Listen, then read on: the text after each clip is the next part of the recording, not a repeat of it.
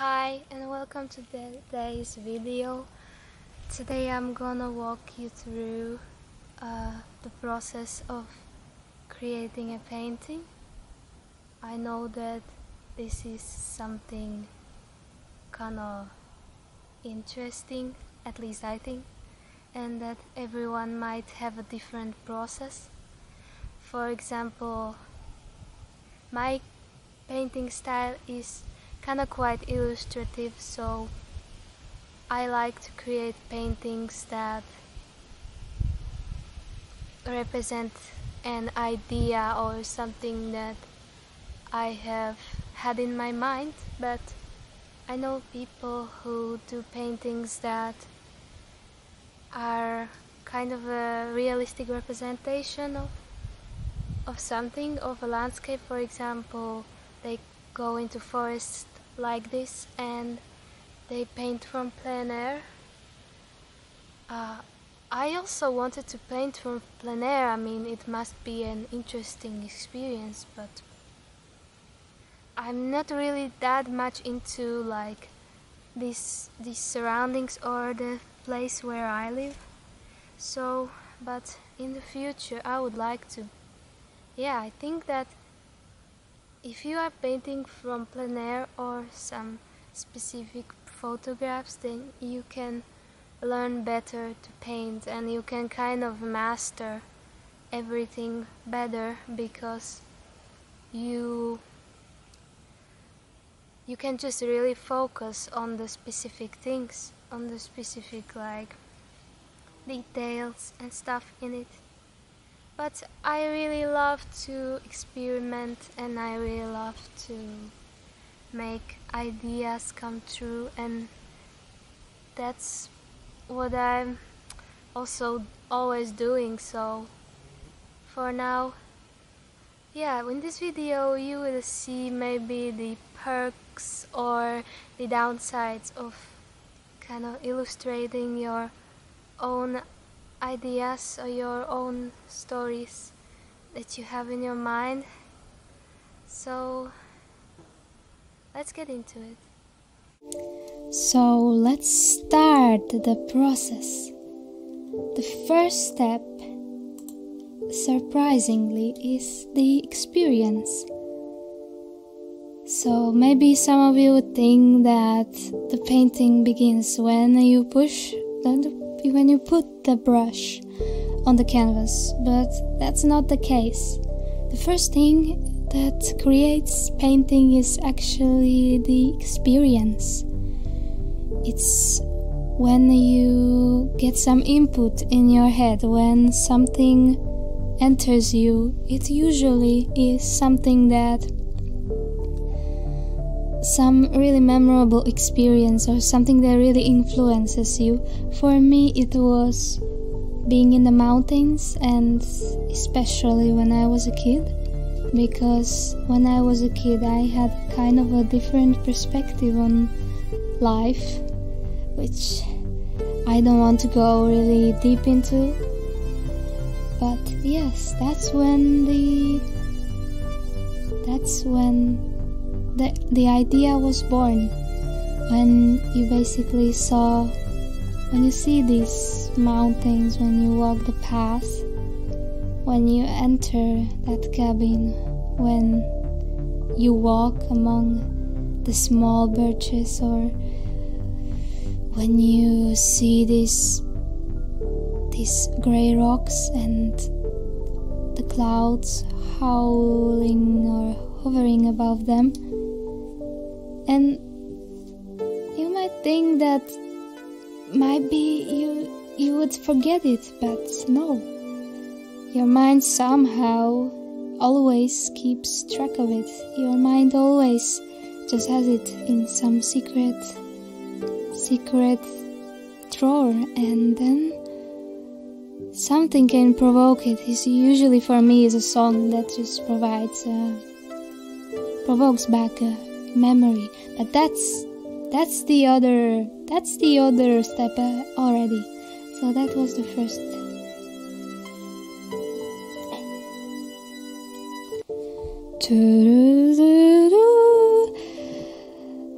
The spontaneous mind processing. That's how the second step is called. So, as I said, that the experience of the mountains, of the nature, is the core of my work and the core of my inspiration. But there are some other inputs and experiences that has been the inspiration for my artwork. So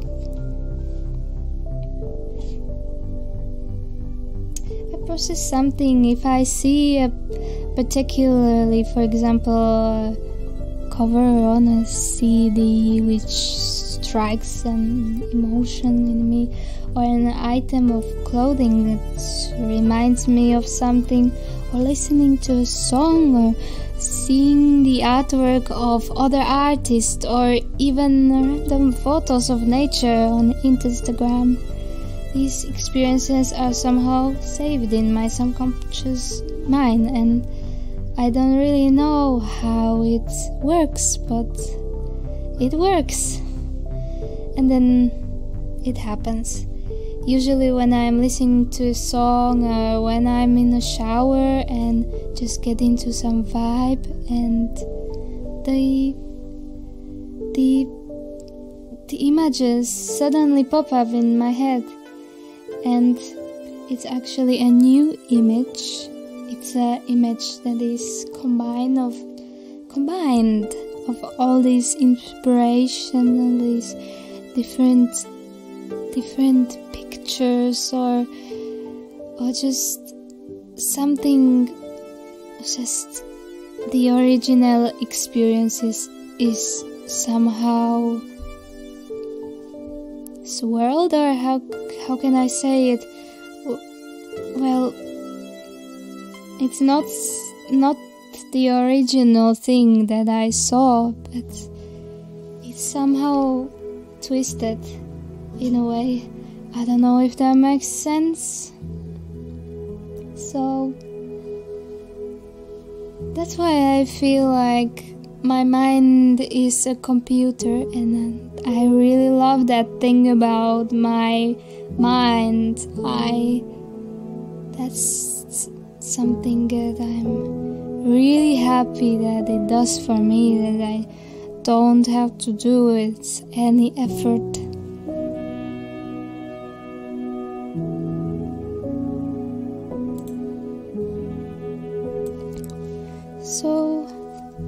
Would call my mind a computer if I could choose just one thing. I'm curious. What would you call your mind if you could choose just one thing? Let me know.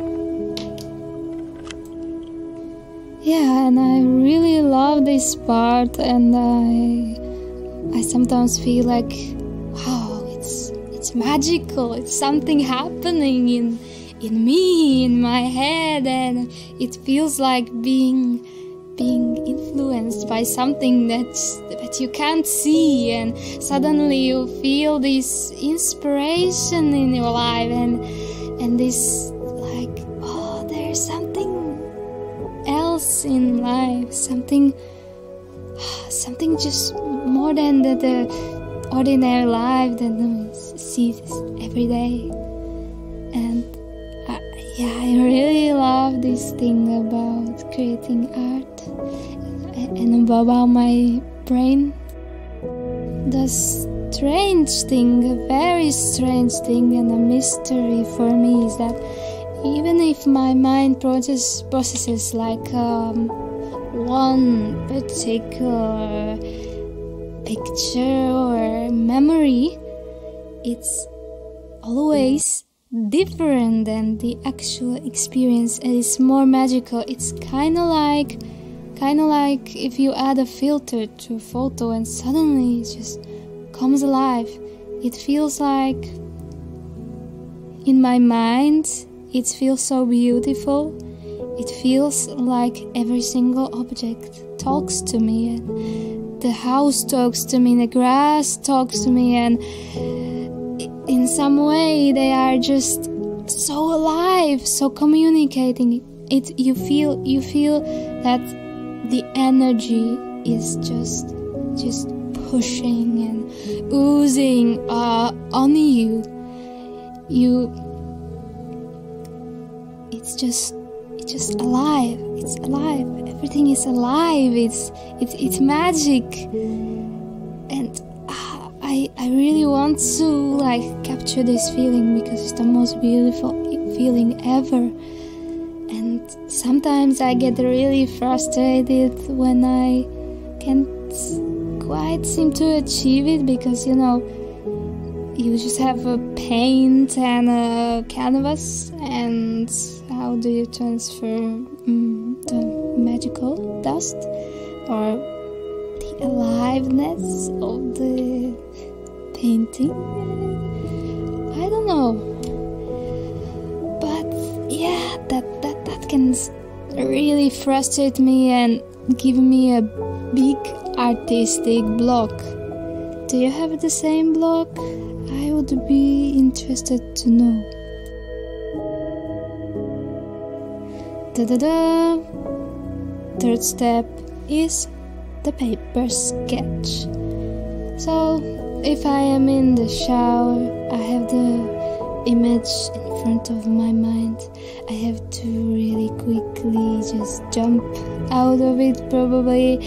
I will use the towel and stuff and go and sit and take a paper, pencil, and draw it. basically, basically, I might not know exactly like what mm, what it's gonna look like. Like I but I just sit and I let the pencil kind of lead me. Basically, I find it helpful to just just the act of drawing that it helps me visualize it better and I just I just draw it on. And I have a quite a fair collection of these sketches. I keep them and because I don't can't keep up with like making all of them but I keep them. And then someday hopefully I will make them step gather the reference photos now we are stopping dreaming up until this point we were dreaming but now we are rolling up our sleeves and we are starting to work. So uh, I get my reference pictures from many different sources.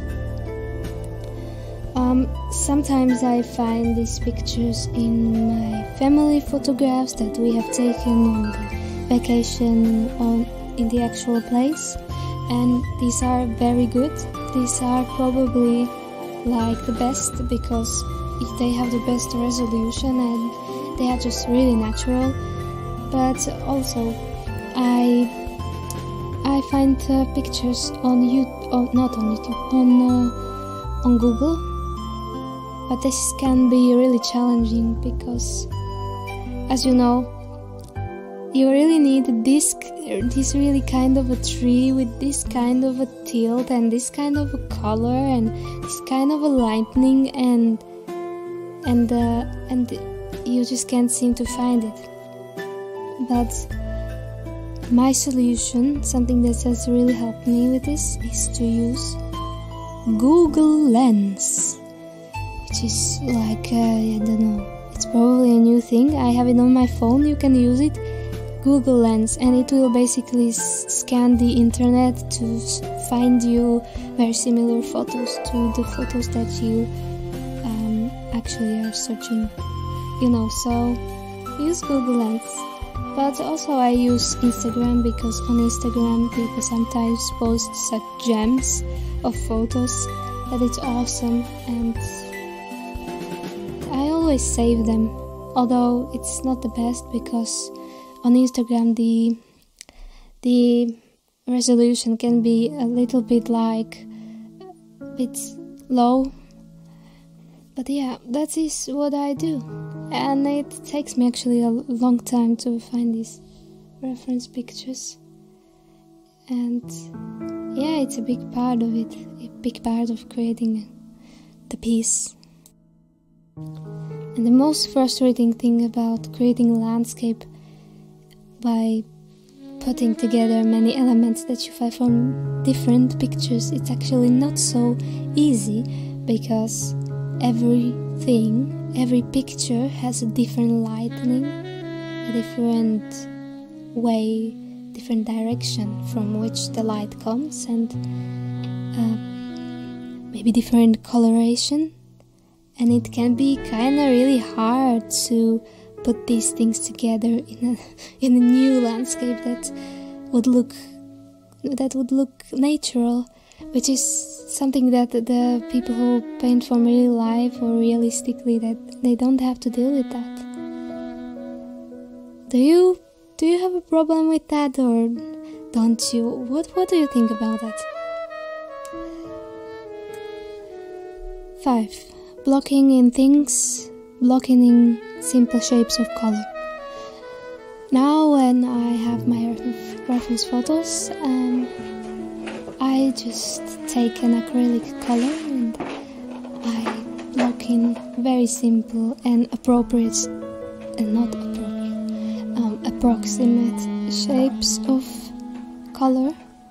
I do this because sometimes I want to change things around, so I never start with doing details. Always, my advice is always just start really vaguely and then look at it and see if you can change something because it, it's a problem if you already have done so many details and then you then you just want to paint over it. It's just such a waste of work so I always block in first. 6 diving into details. At this point, I I look at my reference photos and I zoom them in and I really work on the details. I look at the really small steps and this part goes really slow, slow but steady. And as long as it's going well, I like working with details. It's it can really get me into the zone or just drag me into a space of real enjoyment of it. Just I'm just creating, you know, I'm creating grass, I'm creating trees, I'm creating houses. It's enjoyable as long as it goes well. When it's going bad, then it's honestly kind of hard to enjoy it. But otherwise, it's it's enjoyable. Next, signing my work. I just always sign my work into the right lower corner. It's nice to sign your work and it's important because you are making it yours like from your from you and you are basically kind of kind of feeling proud of yourself and honoring yourself. You should always sign your work because it's like you will feel good about it and you will feel proud of yourself. So always sign it. Number 8 give it a name. I like giving my paintings names because it brings out the poetic quality of them. It brings out the message that they are actually created with an intention or with that that they are alive, that they mean something. When you when something has a name, it's it suddenly it like strengthens the concept or or the idea or whatever whatever you wanted to communicate with it. Even with the landscapes you communicate something. And even if that even if that's just a feeling but you always communicate something. And what is more is that every landscape as they are different they have different personalities so to speak. So they have very very unique feelings to them. We know feelings like sadness happiness joy anger but the feeling can be a very complex signature. And each painting has that and each painting should have a name but sometimes I'm gonna be honest sometimes it's easier to give painting a name and sometimes it's harder. Sometimes I have more inspiration to it and sometimes less let's say. That's the end. I hope you enjoy this video. I personally love videos that are simple and just personal and imperfect. Just we don't have to make everything so professional and perfect but we know that if we are just ourselves and if we are imperfect and personal as we are it can be kind of scary because we have these edges of us that we haven't really we haven't really even them or, or filed them filed these edges. And we we can feel a bit weird talking like that because it's so personal but I wanted to make a personal like a simple video like this because I love these kind of videos and I wish that there were more of them. I I, I just love love where when you are just like blah blah. So my question to you is what is your style? Do you illustrate or do you work from real life? And tell me about your experiences. Share your ideas in the comments